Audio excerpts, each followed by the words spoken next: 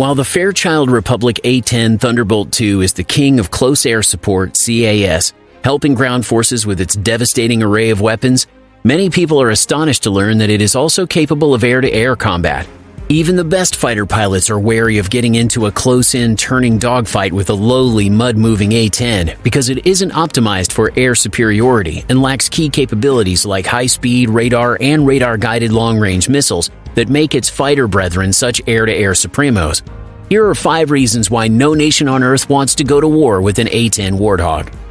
Before starting the main topic of the day, let's learn something about the Warthog first. The A-10 Thunderbolt II, affectionately known as the Warthog, has been in service with the United States Air Force since 1976. The attack plane was planned as a replacement for piston-engined planes like the A-1 Skyraider on the one hand, and as a deterrent to the U.S. Army's development of superior assault helicopters on the other. The U.S. Air Force was concerned that technologically advanced Army helicopters could take over the close air support duty that its aircraft had grudgingly conducted in Korea and Vietnam, undermining the rationale why multi-purpose jets were required. The A-10 Thunderbolt, or more commonly known as the A-10 Warthog, is a U.S. Air Force close air support Avenger that will take a battering and yet find a way to shower you with her low-altitude armor-piercing bullets. The A-10 is one of the most respected pieces of equipment available to fighting men and women, as seen by its track record. One of the largest automatic cannons ever placed on an aircraft is the 30mm GAU 8A cannon that mounts on the front of the A-10 with its barrel protruding from the nose.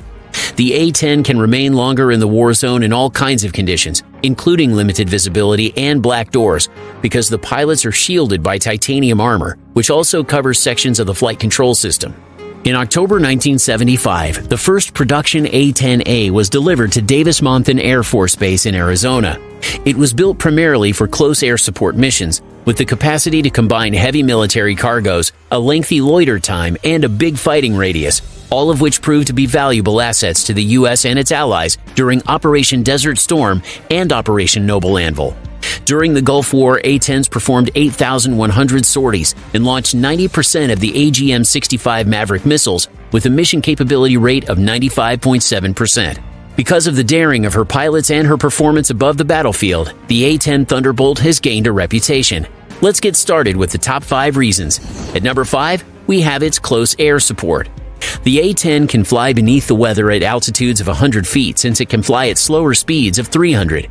This allows pilots to see enemy targets with their bare eyes, allowing them to drop bombs, fire rockets, and open fire with the 30mm gun while still in close proximity to friendly forces. Piloting an A-10, in an interview with Scout Warrior Lieutenant Colonel Ryan Hayden, deputy of the 23rd Fighter Group at Moody Air Force Base, discussed the Warthog. We get up close and personal with our subjects. We conduct it at a distance of 50 meters from people. I occasionally notice hands and people waving. I can discern the difference between good guys and bad guys and shoot if I get close and low enough, Hayden stated. Depending on the target and angle range of the aircraft, the bombs, rockets, and cannon attack foes up close or from miles away. We deliver the munitions by flying from a base station, pointing the aircraft towards the ground, and then pulling the trigger when we get to the desired range, he stated. Both the Litening and Sniper pods on the A-10 are equipped with infrared and electro-optical sensors that can locate targets for the pilot. Like the F-15E and F-16, the aircraft uses the same aiming pod. However, most fighters are unable to switch between the two targeting pods, whereas we can thanks to our software, Hayden explained. The A-10 is equipped with a wide range of weapons, including Joint Direct Attack Munitions, JDAM GPS-guided bombs, as well as GBU-38s, GBU-31s, GBU-54s, Mk-82s, Mk-84s, AGM-65s, Maverick missiles, AIM-9 Sidewinder missiles and rockets, as well as illumination flares, jammer pods, and other defensive countermeasures. According to Air Force statements, the aircraft can carry 16,000 pounds of mixed ordnance, with eight pylon stations flying under the wings and three under the fuselage. Next up is the armament. The total count includes a 30mm GAU 8A cannon capable of firing up to 16,000 pounds of mixed ordnance from 8 under wing and 3 under fuselage pylon stations, a 500 pound Mk-82 and 2,000 pound Mk-84 series low high drag bombs, incendiary cluster bombs, effects munitions, mine dispensing munitions, and AGM-65 Maverick and AIM-9 Sidewinder missiles. That's a serious plane with a bad attitude. At number 3, we have survivability. The leading edges of the wing and tail of the A-10 have a honeycomb panel design that makes them more resistant to battle damage. The front landing gear strangely retracts under the wings while still protruding out of the fuselage. The Warthog can survive many direct hits from armor piercing and high explosive rounds if it can land with its landing gear up and its self sealing fuel cells are shielded by internal and exterior foam.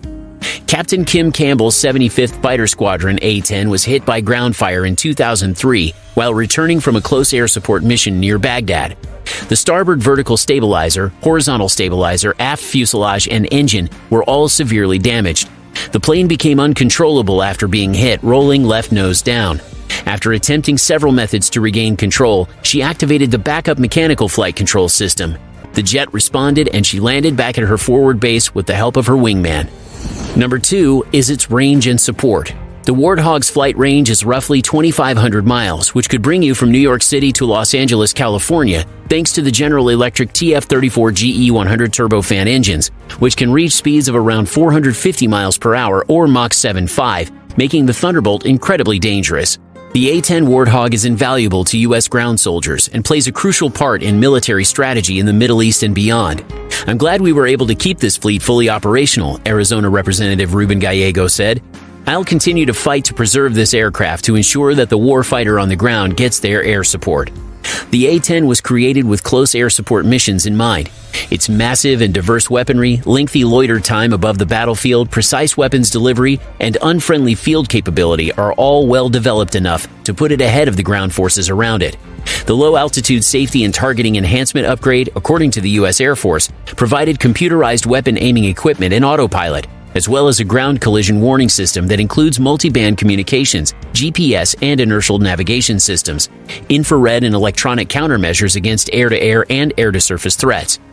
To put it another way, if you try to shoot at our ground forces, we will not only shoot back, but we will unleash hell on you right where you are. And the number one reason is the A-10's grit.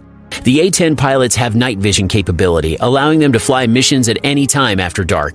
In order to maintain the A-10 on the battlefield, it was also constructed with a quick repair turnaround time in mind. Damaged wing skins can be replaced in the field, a cannon that produces so much smoke while firing that it resembles a forest fire, and a Gatling gun that fires bullets the size of beer bottles earned the Warthog the moniker Cross of Death.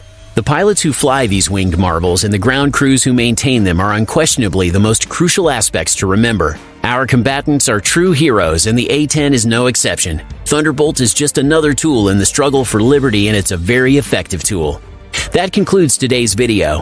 What are your thoughts on the Warthog? Is there anything that can stop it? Please let us know in the comments section below. If you liked the video, please give it a thumbs up, and thank you for watching.